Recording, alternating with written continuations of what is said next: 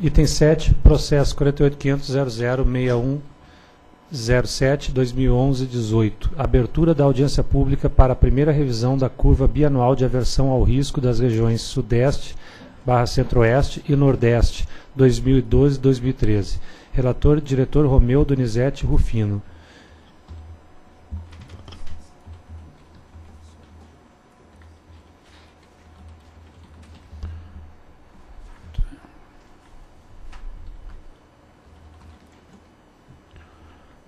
A resolução é, GCE, de cento, número 109, de 24 de janeiro de 2002, no artigo 7, estabeleceu para análise das condições de atendimento energético e para a formação de preço a utilização na programação eletroenergética elaborada pelo ONS de mecanismo de aversão a risco de racionamento externo aos programas computacionais baseado na adoção por submercado de curva bianual de segurança de armazenamento dos reservatórios equivalente das usinas hidrelétricas, o qual deveria ser incorporado aos modelos computacionais utilizados até 31 de dezembro de 2002.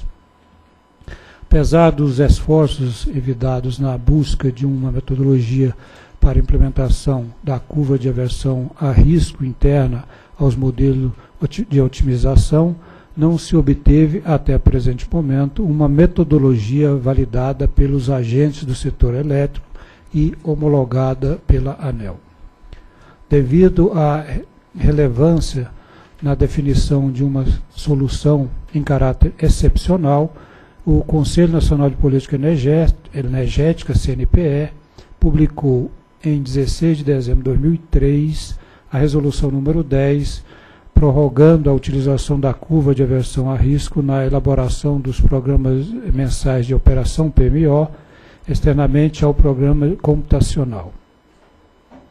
Adicionalmente, esta mesma resolução autorizou o ONS a utilizar em caráter excepcional e provisoriamente a metodologia em desenvolvimento para consideração da curva de aversão a risco interno ao New Wave. A Resolução Normativa 212-2006 estabeleceu que o ONS apresentasse, apresente a ANEL anualmente até o dia 15 de outubro de cada ano, atualização das curvas bianuais de aversão a risco de racionamento, sendo que essa atualização abrange o período de janeiro do ano em análise até dezembro do ano subsequente. A resolução autorizativa número 3.295, 17 de janeiro de 2012, autorizou o ONS a utilizar a curva de aversão a risco das regiões Sudeste, Centro-Oeste, Sul e Nordeste, atualizada para o período compreendido entre fevereiro de 2012 a dezembro de 2013. O submodo 7.5 dos procedimentos de rede define que a CAR o ASCAR podem ser é, revistas em função de fatos relevantes que impliquem em alterações nas premissas adotadas nos seus cálculos, seja por determinação da ANEL ou por iniciativa do ONS. A carta do ONS, aí de 2012, encaminhou a nota técnica 041-2012 por meio da qual o ONS solicitou a revisão da CAR do BN 2012-2013 devido à mudança nos cronogramas de várias usinas termoelétricas em relação ao PMO de dezembro de 2011, referência para as CARs aprovadas pela Resolução 3.298-2012, inclusive com retirada de quatro unidades termoelétricas do arquivo de planejamento. Devido à decisão do Comitê de Monitoramento do Setor Elétrico, tomada em reunião extraordinária realizada em 26 de março de 2012, que optou por um adiamento maior do cronograma de entrada em algumas unidades termoelétricas, o ONS apresentou, por meio de carta de 30 de março de 2012, a nota técnica 049-2012. A SRG, por meio da nota técnica 24, de 4 de abril de 2012, a avaliou as informações e respectivos exames encaminhados pelo INS e é o relatório. Procuradoria. Neste processo não há questão jurídica controversa. Então, trata-se de primeira revisão da CAR para o biênio 2012-2013, que parte de proposta apresentada pelo INS, baseada nos dados utilizados no PMO do mês de abril de 2012. Tal revisão motivou-se pela mudança no cronograma de implantação de diversas termoelétricas, principalmente aquelas da, dos clusters Aratu 2, Suape e Linhares, cuja implantação estava prevista para julho de 2013 e passou a ser considerada para fevereiro de 2014, fora do horizonte das CARs, tendo também sido retiradas as usinas termoelétricas José de Alencar Pernambuco 4, Itapebi e Monte Pascoal. A SRG avaliou o documento do ONS e elencou as diferenças das montantes termoelétricos considerado na CAR, atualmente vigente, aprovadas pela resolução já mencionada, e na revisão proposta. Tais valores estão transcritos a seguir nas tabelas. Então aí a tabela mostra né, o período aí de janeiro de 2012 a dezembro de 2013, a K vigente, a K proposta e a diferença. Isso primeiro bloco para o subsistema Sudeste Centro-Oeste e no segundo bloco aí o sistema Nordeste, a mesma comparação. Então, nota-se aí na, nas últimas colunas que tem uma diferença considerável. Ainda a SRG descreve os seguintes diferenças entre a CAR atualmente em uso e a revisão proposta pelo INS.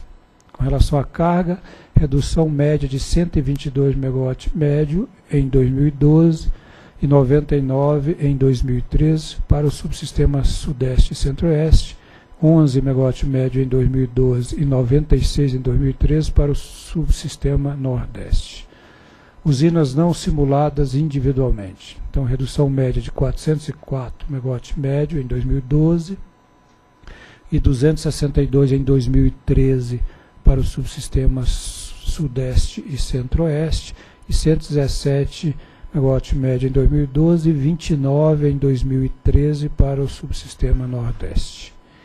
Intercâmbio entre as regiões Centro-Oeste, eh, Sudeste e o Nordeste redução de 107 MW médio em 2012 e 992 em 2013. Os valores propostos de revisão da CAR para o subsistema Sudeste, Centro-Oeste e Nordeste estão apresentados nas figuras 1 e 2, respectivamente. Ambas retiradas na nota técnica do ONS 049. Aí dá para notar então a curva, a K vigente, né, que está em azul, e a K revisado, a proposta de revisão está em vermelho. Tanto para o subsistema centro-oeste e sudeste, como a seguinte, que é do sistema nordeste.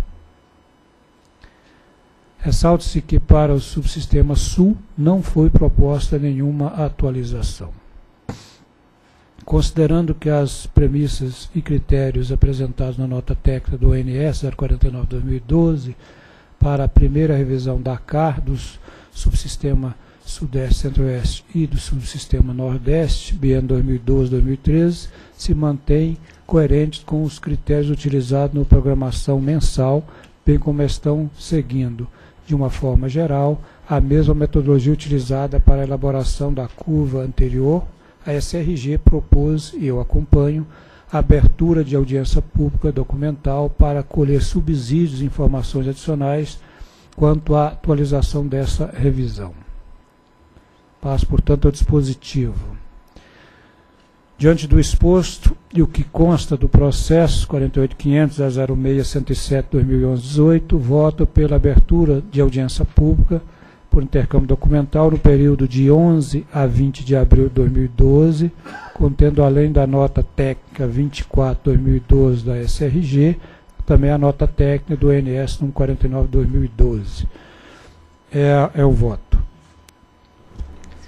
Em discussão? Acho que está bem, bem colocado no voto, quer dizer, necessidade de ajuste disso aí, são uma série de, de mudanças para a resolução nossa, né? Trata 440, tem são os reflexos e a questão de uma reprogramação de umas usinas térmicas, que quase todas elas são na nossa pauta de discussão aí nos, nessa semana e nas próximas aí, estão afetando realmente bastante isso e isso realmente afeta realmente a conversão a risco, né?